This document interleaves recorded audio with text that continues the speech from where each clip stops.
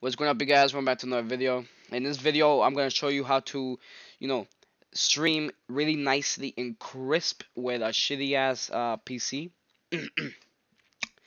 and uh, let's get right to it. I know this video is not one of my original videos about Warzone, MW2, and a bunch of random crap. But anyway, let's get right into the, uh, the shits.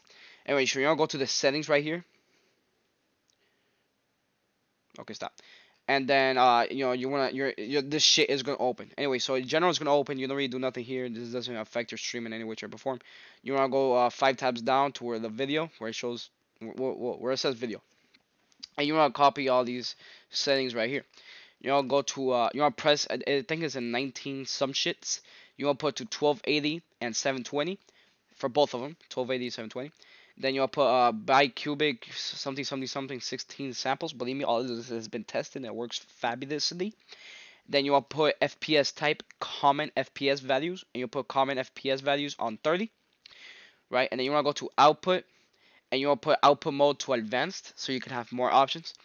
And you go streaming, all you try, you put one. You put encoder hardware NVENC. You do not want to put the one that says new because if you put the one that says new, it's not gonna work. Or I don't know if it's not gonna work or not. Just you know, this is I think this is your um your graphics card, and then the one above it, I think it's called software. I think that's your GPU. That's like the brain of your computer. You want to use hardware, which is your graphics card. Well, you could use any. You could use either. But I, I, I prefer this one in my opinion. Anyway, you want to check mark both of these two right here. Then you want to put output resolution. It's 1280 720.